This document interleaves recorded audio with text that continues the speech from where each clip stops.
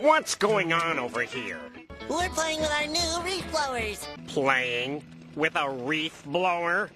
That's the most childish thing I've ever heard of. But it's fun.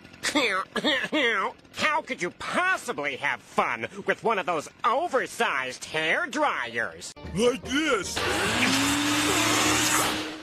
Ah! Give it back, please!